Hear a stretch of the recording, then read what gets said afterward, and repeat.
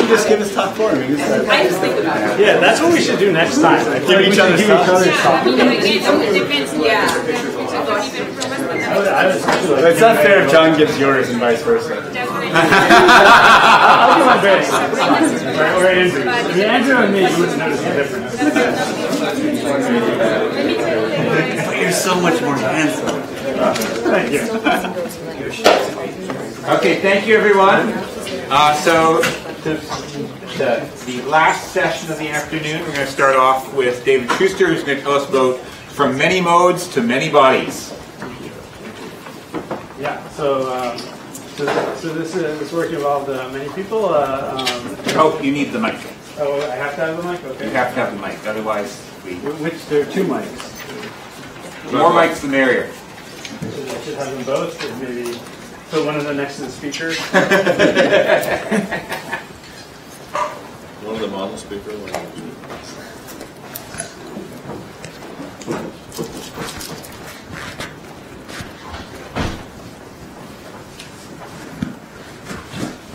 Hello? Okay, better? All right. Yes. So, um, yeah, so, so this work involved many people. Um, uh, in particular, uh, um, our two postdocs, uh, Vatsan uh, and, and Alex, as, as well as Yao. The, the, it's also collaborative between groups, between Jens Koch, on, who did a lot of the theory on the first two projects, and, and, the, and the last part is a tight collaboration between Don and I. Um, so uh, at the beginning, I'll, I'll, I'll talk a little bit about uh, just quantum circuits, just because there are some AMO folks in the audience. Uh, we'll talk a little bit about um, multi-mode uh, uh, circuit QED, um, and most of this part part will be kind of a little bit maybe quantum computing focused for this. Uh, for this meeting, but but I think part of the reason I wanted to talk about it was to actually maybe generate some ideas for, for ways we could think about about this in, in kind of a more many body context. Um, uh, I'll also talk about how we do cavity stabilization of, of qubits and how we can use that as a tool then to try to make uh, a strongly interacting uh, uh, many body system, in this case, a, insulator. Um, and then I'll, I'll have a, I'll just quickly show some of the other stuff we're doing and uh, and, and hopefully and maybe put up some questions for for stimulating discussion. So, so this is Vatsan and Alex, uh, who are postdocs and will probably be looking for jobs soon and are excellent. And this is uh, Yao, who and I mean many of the people contribute, but these are sort of the main actors. Um, okay, so just to, you know, in terms of context for this workshop, so um, a lot of these ideas kind of came out of this idea of, of just trying to have um, making metamaterials with photons, using photons as the medium of the interacting bodies rather than atoms or spins or, or, or electrons. And uh, you know, photons, uh, as we've heard throughout the workshop, have, have many uh, many nice properties, and in particular, if you if, if you use microwave photons, uh, they're also quite nice. Uh, uh, I think Andrew actually did a great job uh, uh, kind of explaining this, and, and so you can have flexible topologies of, of, things. You can have uh, uh, very strong interactions, and and also we can you know we can actually really basically extract everything you could want to know about the system. So we can you know we can look at every single site. We can uh, with perfect resolution. We can we can look at it uh, on timescales much faster than, than any of the dynamics. So we can really get just about anything you, you could hope to get out of it. Um, and so I'm not going to talk about these very much. I, I think John will mention them um, in his talk. But uh, one of the things that got John and I talking was just trying to understand. Well, I was really trying to understand his work. That uh, will probably be the main subject of his talk on on, on using visible photons in twisted cavities, and, and, I didn't understand what he was talking about, and probably neither will you. Uh, I'm just kidding. You, will understand perfectly. Um, but the, the, you know, and so a lot of this work actually grew out of sort of trying to explain this in, in, in a language that I can understand, and that language was the language of of uh, cavity QED, so it's sort of appropriate for, for this workshop. And, and in doing that, you know, we, uh, we sort of mapped it onto cavity QED, and then we tried to map it to circuits. And then when we did that, we found that the numbers were actually quite good, and, and so we actually started to do these experiments together. Um, so this was one example. It's a you know a topological insulator, um, and it's it's you know these are both room temperature objects right now. That you know this is a, an FR4 circuit board with like lumped element like capacitors and, and, and inductors, and and this is just a piece of aluminum that we milled out and put some some little YIG spheres in there. Um, so the physics you know at this point is still is, is has non-trivial topology, but is, but is classical. Uh, and what we're trying to do now is, uh, is to really move towards uh, strongly interacting uh, physics. Um, and so I'll, I'll, tell you, I'll kind of talk mostly about that aspect. Um, so I just wanted to kind of remind people what the, the main sort of components that we have are.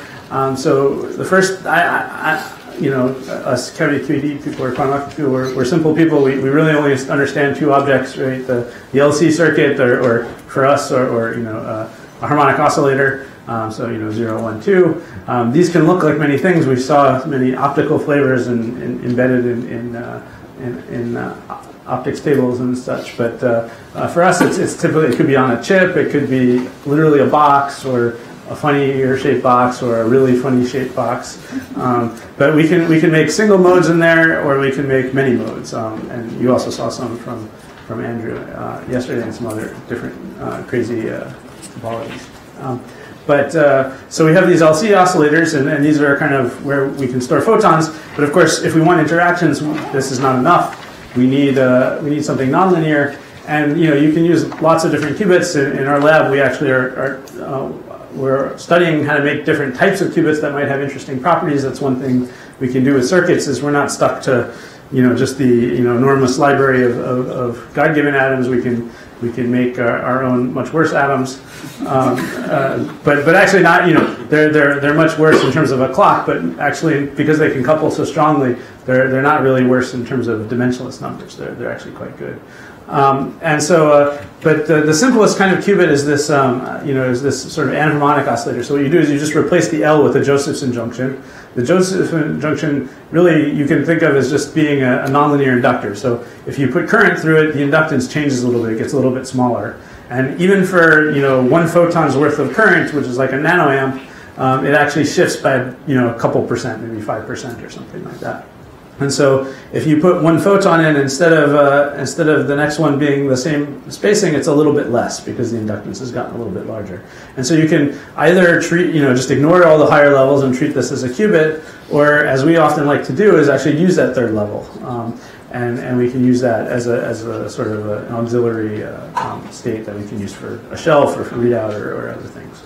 Um, and so, so this is kind of, these are kind of the tools in our, in our toolbox. Um, this is what you know. This is what the equivalent of the optics lab looks like. It's it's it's a cryostat, uh, and we just put the sample at the bottom there. It, has got lots of microwave cables and stuff like that. And, you know, there's all kinds of other things. Uh, you know, racks of electronics and things like that. Lots of coffee, very important. Um, you know, like that. Um, okay, so I want to just. I, I realize that when I've talked about this before, I haven't maybe uh, explained sort of the the the, the bigger vision for, for what we hope to do. And, and so this time I, I thought I would, I would try to do that. So um, in our multi-mode, so what we've done, what, what we do is, you know, we're trying to make a quantum computer that instead of having, you know, some lattice of qubits or something like that, is more actually more like a, a, regular computer in a certain sense. So we think of it, we take one multi, this is each, each one of these boxes is going to be a multi-mode cavity, and and there will be a qubit. But there's, you can see that for, you know, there's lots of modes here and, and only a few qubits. And so the idea is we'll have these memory modules which should have, you know, I don't know, tens of modes, uh, something like that. And then each one of those gets a qubit. Um, and then we can have as many modules as we like, and then we can sort of couple them to sort of some kind of a bus resonator, which, which might be single mode or multi mode or, or whatever. And uh, there's, it's a nice architecture because you can kind of, uh, well, for one, our cavities are much better than our qubits, so it kind of makes sense to have more cavities than qubits. Um, it, it also means that we have the qubits are thin, you know, cavities are easy to make. We literally just machine them out of a block of aluminum. Uh, you know, the, the, qubits are not particularly hard to make, but but they're more work, and they, they also require more control, and, and they're also not as, as good in terms of their quality factors and coherence.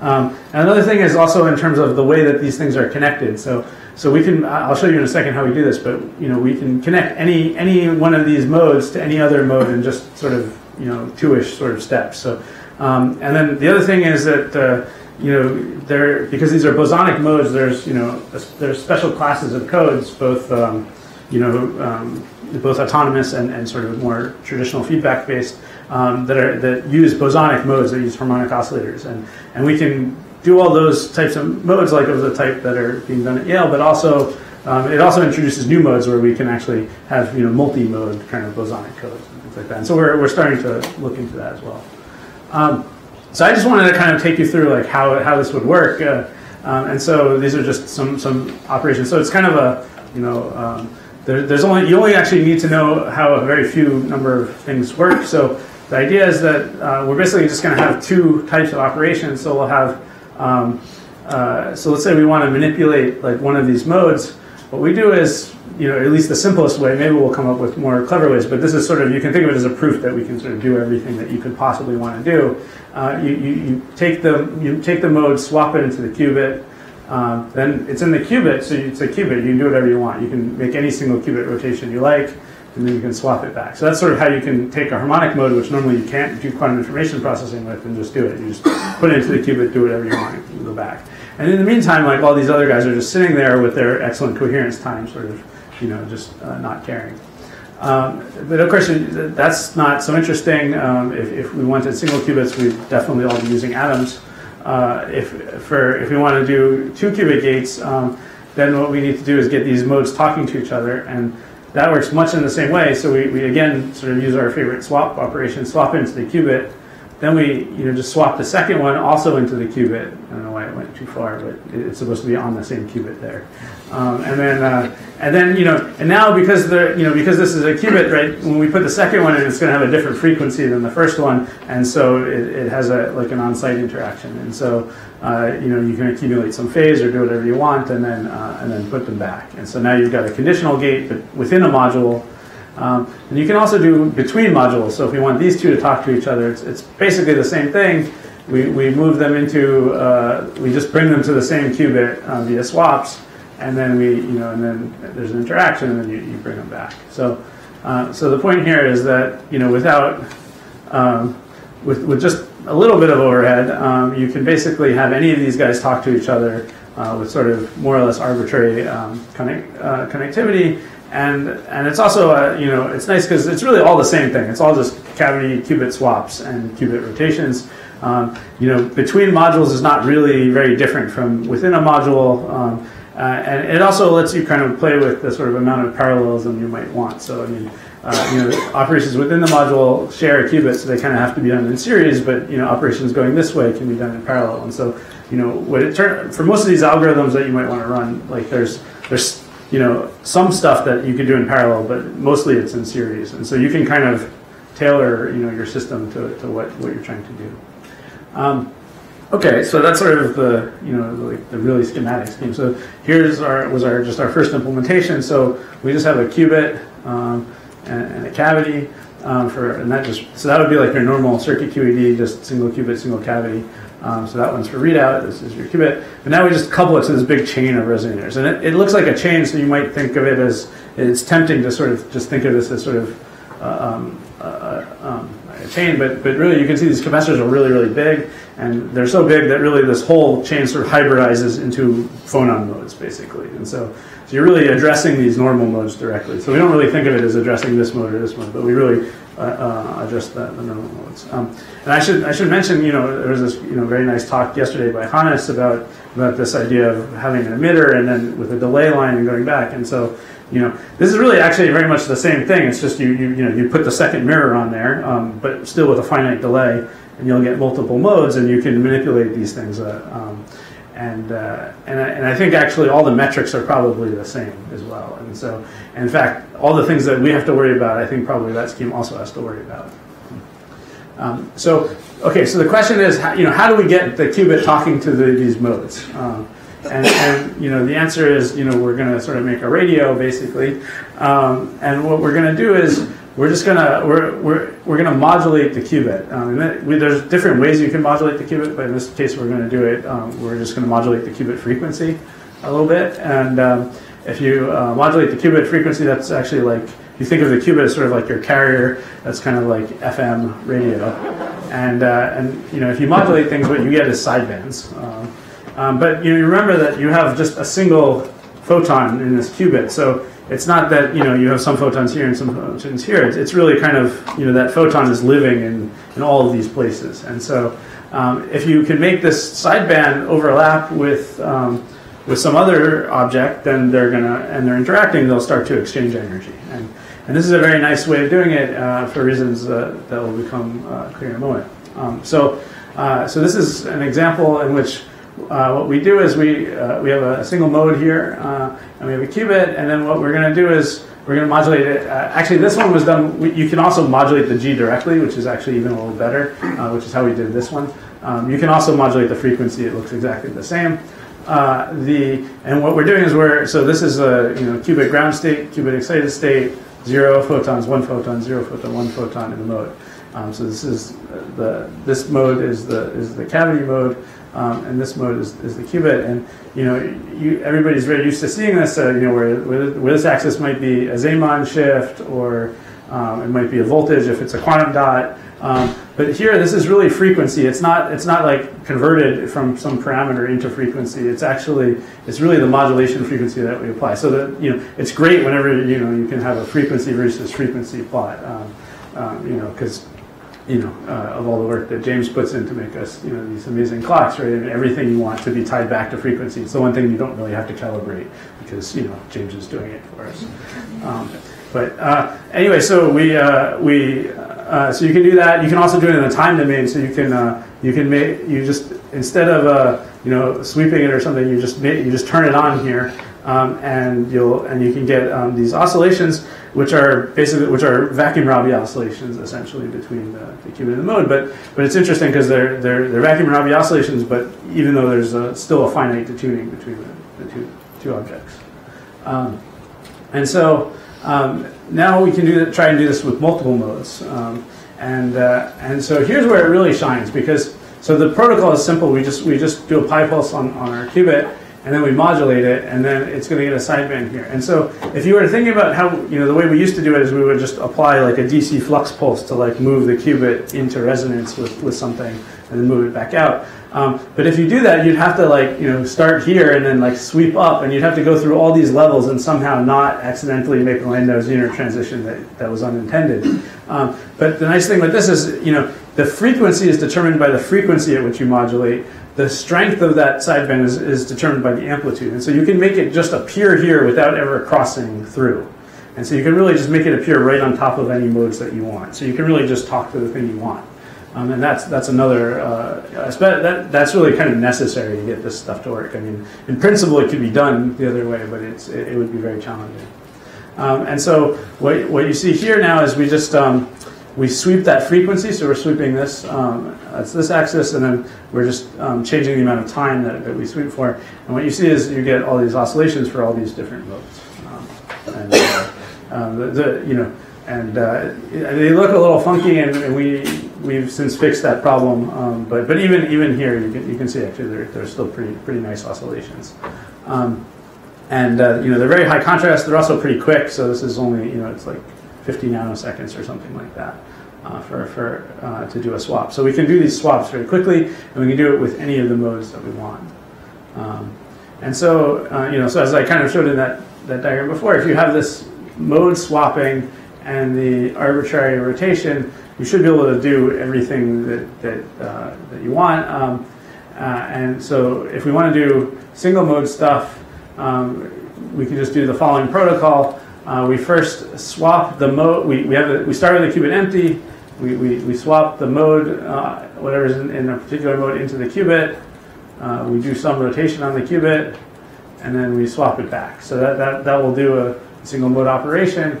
And so, um, so we wanted to test how well we could do that, and so we just did that, uh, this thing called randomized benchmarking, which is basically you do a whole bunch of Clifford gates, and then make sure that at the end, you, uh, that you can just calculate where you'll be, and you just make sure you're there at, at the end. Um, and so, um, and, and that kind of amplifies the error, um, so it makes it a little easier to see. And so, if you just do it with the qubit alone, uh, you know, it's, it's, it's pretty good. Uh, I guess actually all these numbers are now, we have, we have a new sample. Th- These are the published ones, but they're all better now.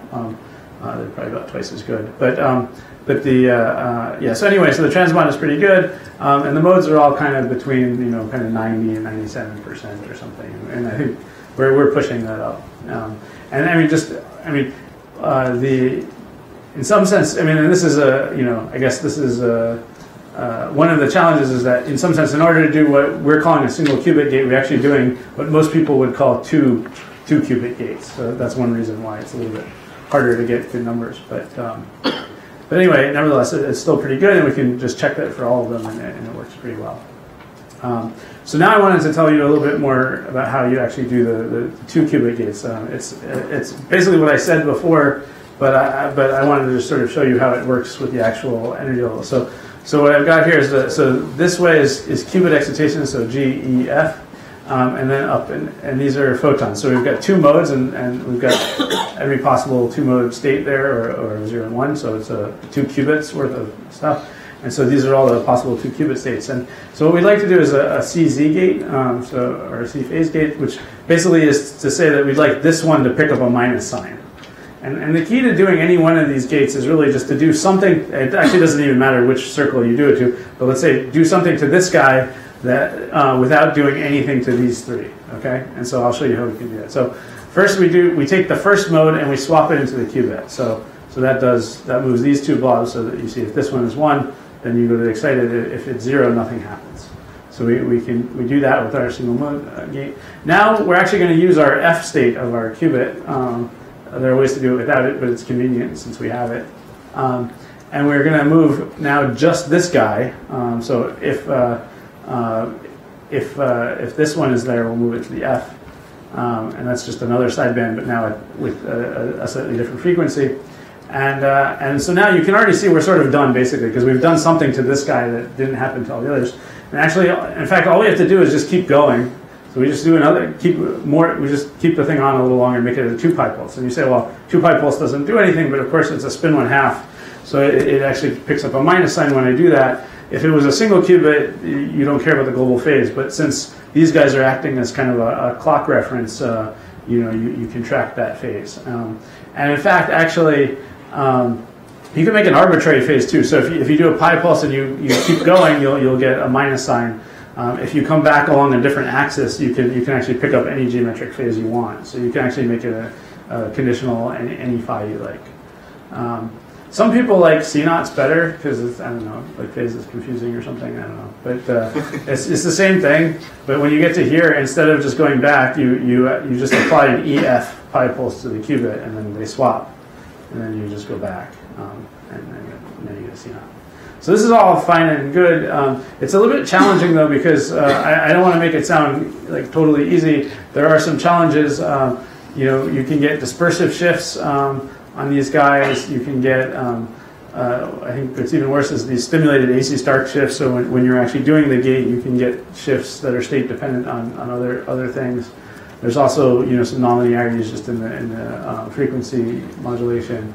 Um, so anyway, we're, we're working to model these. We, we, we have you know rough schemes that will work, and I think the only question is is is will they slow things down enough that it, it, it's just too annoying? But but I think I mean, in principle it's not a problem. But but uh, we uh, we have some ideas. Um, uh, yeah, so um, you can you can test this out. Actually, that that's even older. This is like 85 percent or 90 percent or something. But uh, you can you can you can kind of. Uh, so one thing, this is actually like 38 different you know pairs of things. So we can really make any qubit, any any mode talk to any other mode.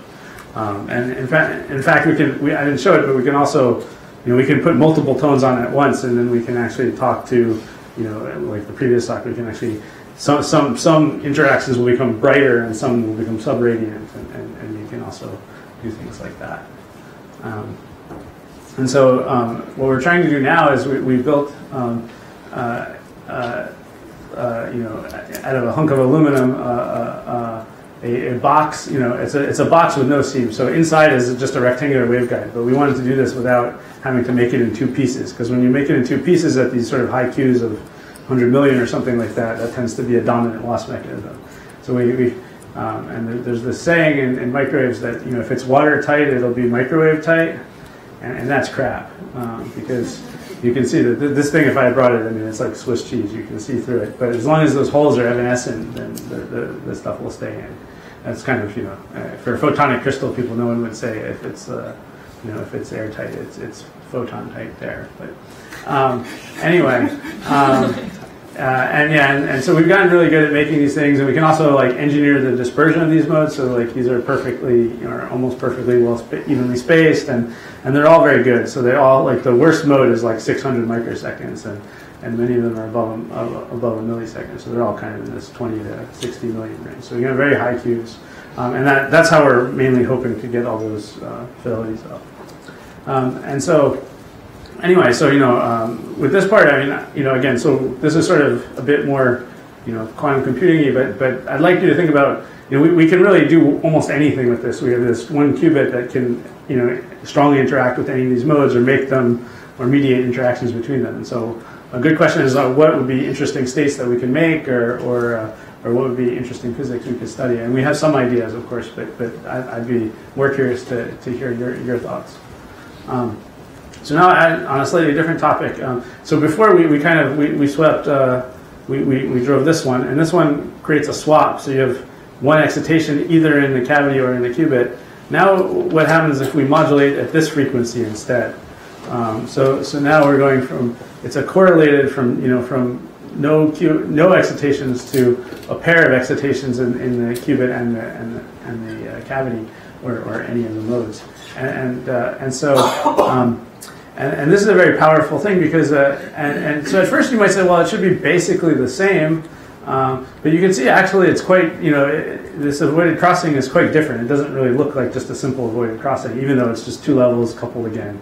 Um, you might expect it to be the same, and, and that's because of dissipation. Um, so this cavity, in this experiment, in this particular experiment, the cavity was designed to be very lossy. So so it, so so it, it goes like this, um, but if it, if it stays up in, in this one state for very long, it will just it'll come down here. And the qubit has a very long decay time, so if it stays, it, it gets here. So I mean, for the atomic physics people in the audience, they're like, yeah, duh, that's like optical pumping, and and and and it is sort of, but um, if you think about it, you know, when, when you do optical pumping with an atom, you, you're, you're relying on the fact that you have sort of two kind of very, you know, two kind of, you know, semi-ground states that are that are very, very long-lived, and then you have some bright state up, up top that you, you can connect them both to. Um, and that's not something, I mean, you, we, we've made a superconducting qubit that's like that, but that's another talk. Um, but this transmon qubit, this simple one, is basically a harmonic oscillator, right? So, so you know, like you know, G goes to E and E goes to F. You know, there's no like the and, and, and E to F is a stronger transition in general than G to E. So without any kind of a cavity, you, you actually can't really get that, that kind of physics. You can't really do optical pumping. It just doesn't have the right kind of hierarchy of matrix elements or whatever. Um, and so. Uh, um, but but when you do, uh, but instead you can you can actually use the cavity to, to stabilize things. Um, and there's different there's a lot of different flavors with this. So and, and actually Andreas has done some really nice things. So there's actually from many years ago there's actually a plot which looks almost identical to this one from a uh, from a paper where, where he had developed a, a gate based on a, a two photon version of this. And and actually. Uh, um, this one is done by modulating the G, but um, actually the data I'll show you next is actually done with this two photon style thing, so it's actually uh, uh, quite related. But anyway, you, you, you get some very interesting physics. We can we, we can simulate all. the Jens did some very nice simulations, and we can also um, sort of from a sort of Floquet standpoint, you know, identify what all these features actually mean. Um, but actually, um, mostly we were uh, well. Another thing you can do though is uh, actually so if you just put this blue sideband on, you it'll it'll go to the excited state. Um, if you actually drive the qubit as well, you can do something that's sort of analogous to coherent population trapping, um, but where there's a sort of a, one one of the, mo- uh, the the modes is actually harmonic, so it's a little bit trickier than the standard one, um, but it works quite well. So so this is uh, um, uh, this is an example of just we're going to decay to, to we're, we're causing it to decay just to this sort of random state over here. Um, and you can get and you know you, can predict how, how low it should go and it, it, it does pretty well and you can get up to you know 90 plus percentile uh, uh, percent fidelity kind of pretty much anywhere on the Bloch sphere um, uh, including including the excited state so um, and it turns out this this is really uh, kind of a key feature for if you want to if you want to uh, explore quantum phases, well, you you know especially ones that you might not know what they are. Um, you want to make it so that there are photons in your system, and uh, and normally, as as Jens mentioned, if, if you just turn if, you just leave it alone, all the photons will just leave, and you get a very boring ground state. Um, and so uh, so this is actually the thing that John and I have been working on in terms of trying to get um, uh, you know trying to has actually been the, the main challenge in, in trying to make these sort of strongly interacting uh, lattices of photons. And so, um, so maybe I, I can tell you a little bit about that work now. And so the, the basic idea is we'd like to make just a very small Mott insulator. So um, it turns out it's actually quite easy to make a, a Bose-Hubbard-like model with superconducting um, qubits because a qubit is a Bose-Hubbard site. So it, it, it's literally the way we model it is just A dagger A plus an A dagger A, A dagger A term. So, so it's, it's, it's just a Bose-Hubbard site, actually uh, with a negative U, so it's convenient that, that you know, Jens spent a bunch of time convincing you that, that, that it, it should be the same. Um, and uh, um, we can, actually, you can also make qubits that have a positive U if, if you want to do that. If, if that's, that's also possible. But, um, but the transmons tend to have a negative U. Anyway, so we, we put a chain here, and then, uh, and then what we're going to do is essentially uh, uh, well, first we'll play with it a little bit just to show you that we, have everything working, and then then we'll uh, actually drive it such that it, it will uh, um, be stabilized by this this particularly lossy resonator. Um, uh, so um, first, uh, you know, just do we have a chain? Is it is it all coupled and talking to each other? So what we can do here is we can. Um, so we have four sites. We just put one photon.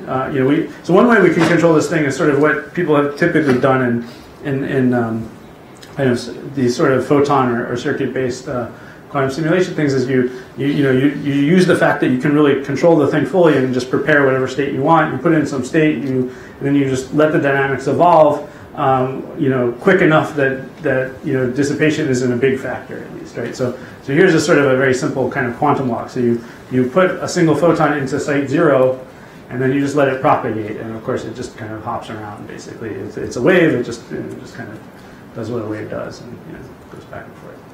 Uh, and it's pretty consistent with this, uh, and you can sort of see that there's some dissipation. It eventually dies.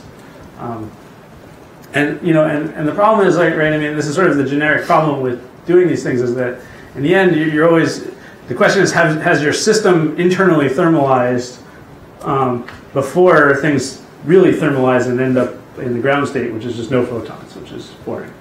Um, and so uh, what we'd really like to do is to is to have it such that you know we have kind of a you know maybe a driven but an equilibrium in which it's it's like a, a normal system where there's sort of a chemical potential injecting things, but, but of course you know for photons that um, if you don't do anything special, they will just decay. So um, so what we've done here is we're, we're going to use this kind of optical pumping idea and just uh, we're going to drive this transition. It'll decay to here, and it, will be happy here because this, this decay time is long. And then, of course, if you, if you couple this site into the chain, it will just you know um, uh, spread. And so you know you kind of expect it to do something like you know it'll wander around, and you know it's just going to keep filling up because every time this thing hops over here, it just get it goes down to here. It gets very quickly refilled.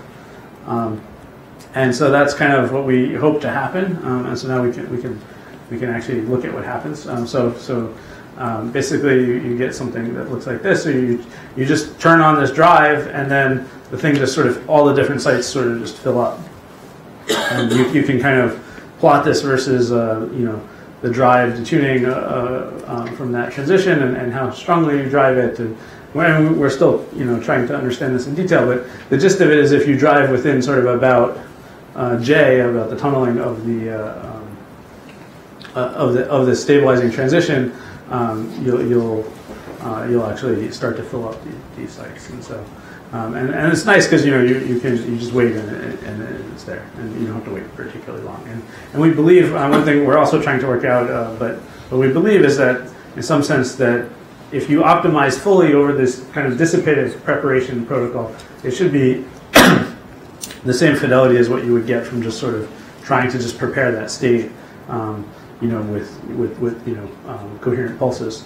Um, but of course, you know, you don't have to know in advance what it is exactly. You just have to. Um, in fact, the only the only thing that uh, that you really need to have. What it- shown in that phase diagram plot? What is Oh, data? yeah. So th- this is the this is the so this is the probability of, of one of the sites um, uh, being excited. So red is excited, or one photon, I should say, um, uh, probably a one, and uh, and then this is the uh, um, this is the, the tuning of uh, you know from from this transition, uh, and then um, and then this is just how how strongly we're driving, basically. Um, so, so in some sense, this is the refilling rate of the, of the one site, and this is the, uh, um, the tuning. And so as long, basically, essentially, as long as you're, so in some sense, this is where you're injecting the, the photons, at what energy you're injecting them. And then why this is it red twice?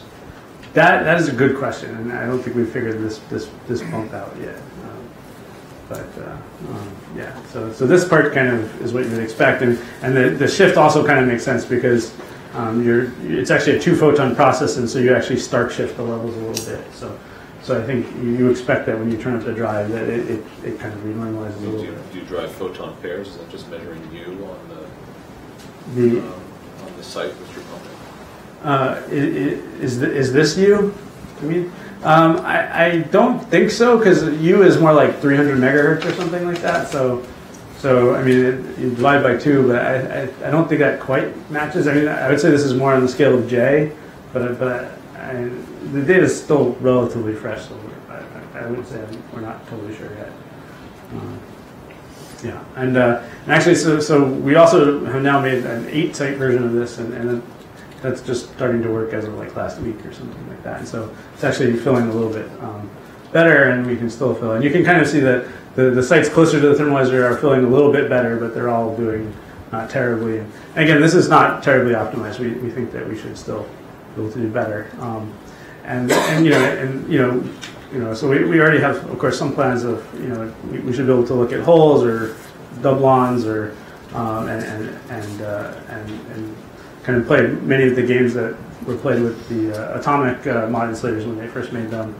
Uh, and of course, in the long run, what we'd like to do is take these ideas and, and um, combine them with the sort of pictures I showed before, these topological uh, circuits um, to make fractional quantum Hall type systems. The, the same type of stabilization that you, uh, you use here should work there, although the gaps are a little smaller. But um, so yeah. So anyway, um, but I'm very curious to, to, to see you know or to talk about any ideas you have for interesting physics that can be done in, in sort of 1D, where I mean we have sort of this 1D gas microscope and.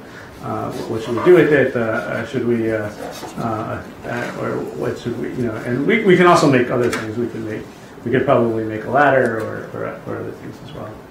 Um, and I just thought I'd mention just some other stuff that's going on in our lab. Um, you know, we're we're also working on kind of protected qubits, so it's like kind of these two. So um, so this one is protected against T1, but not T2, and you can get tens of millisecond or 10 milliseconds ish. this should be in principle protected against fluctuations in both, uh, you know, against charge noise, flux noise, and relaxation. Um, this is something we're working on with, with Jens and, and Andrew Houck. Um, uh, we're, we're, we're still working actually on our electrons on helium, and, and we, we, we're doing pretty well. We actually we think we see single electrons now. Uh, uh, term, another kind of interesting many body thing, which is related to everything here, is is kind of autonomous error correction. So we, I showed you we could stabilize single qubit states, and we've done that experimentally. But uh, we also have some theoretical ideas for how to stabilize not just um, a single state, but actually a manifold of states, and, and, and to protect the coherence uh, within that manifold. Um, and then and we're also doing uh, some fun sort of superconducting Rydberg hybrid stuff with, with John, as well, as well as some other things as well. Um, so just uh, you know, uh, Dan had sort of uh, tasked us with you know trying to stimulate some some discussion, and, and so this are just some random questions, you know, uh, about things that you know be interested in, uh, you know, think what what you know. Most of it are like you know we have we have a lot of cool tools and it would be great to, to get more ideas and it's not that we don't have any ideas right? we have plenty of things to do we're, we're, we're busy but but uh, but uh, you, you guys have a different background and I would be very curious to learn anything that, that excited you about um, about what we can do with these systems. Um, and then uh, I, that I can kind of conclude.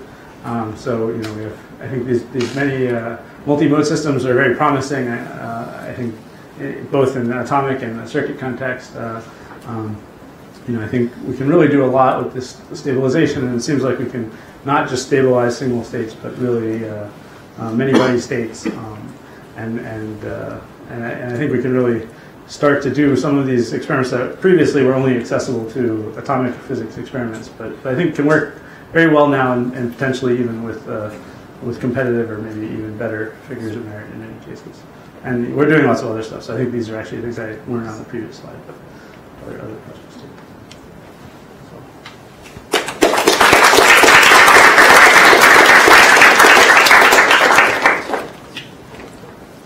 So, um, a question about the, the, the stabilization in the Mott insulator. So, Yeah. if I was worried that um, that I wanted to ask, if I wanted to ask questions about ground states of interacting systems, um, and so I wanted to start with something that was very low entropy. Um, how does the, the, the fact that those, the P metric was not unity affect one's ability to do that? Can I think about the non-unity P as like a temperature of the system? Yeah, I think you know in the same sense that like when Markus does his gas microscopes, if he's got holes, right, that's sort of a form of temperature.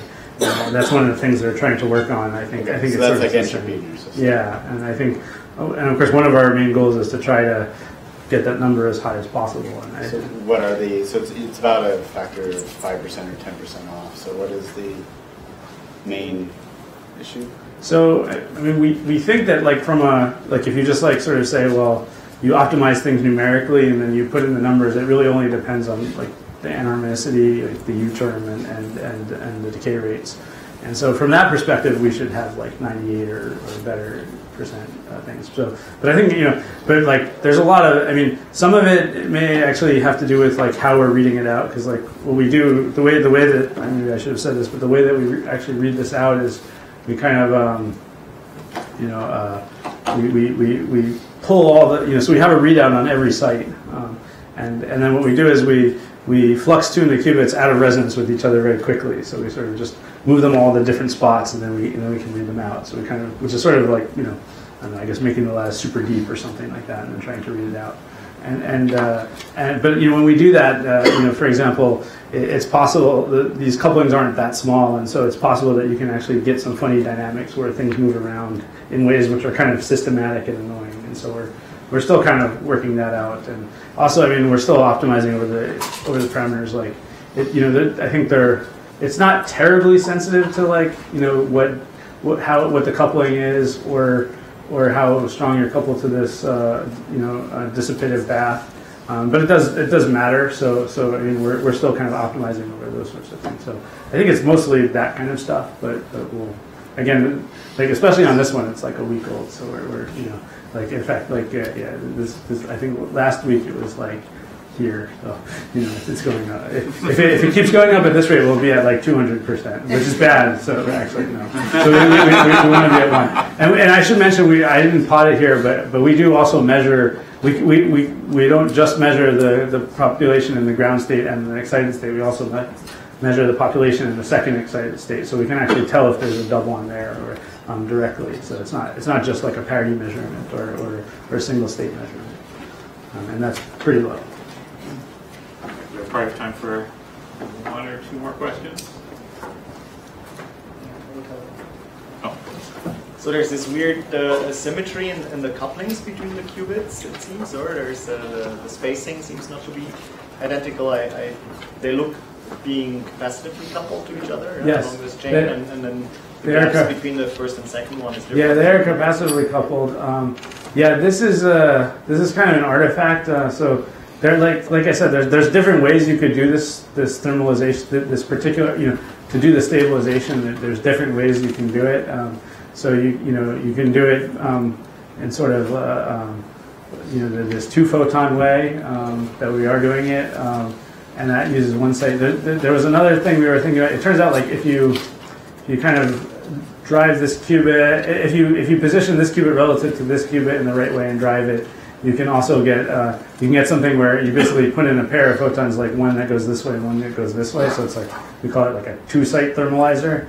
And so I think this was originally designed to be able to support that mode, which is sort of more complicated and probably uh, uh, not ideal for this. So so that's why that's different, and that may also be a little bit why some of these are not as good as they could be. Um, yeah, so there's probably like a lot of little little things that you can do. I mean, the nice thing is actually that it's, it's sort of not particularly sensitive. and it kind of works pretty well anyway.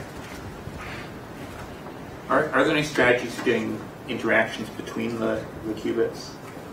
Um, they are interact. Well, I mean, you know, it, it, I guess it depends on on what you know. This is something that John and I always are, are, going back and forth about, like what is an interaction and, and what's not. So, so I mean, Or in your Hubbard model, Yeah. the- a Hubbard model Yeah. with interactions. Yeah, so, so I mean, in the Hubbard model, it's on-site interactions, right? And so, yeah, a question would be, how could you get um, off-site interactions without sort of accompanying real tunneling or something like that? And that's that's something we've been thinking about, and, and, and if you have ideas, uh, you know, we, we would be interested in because I think I think that would be, I mean, there- there, yeah, I mean, we have some ideas, but I wouldn't say we have we're nothing that we're actively pursuing yet because we're not maybe happy with them yet. So.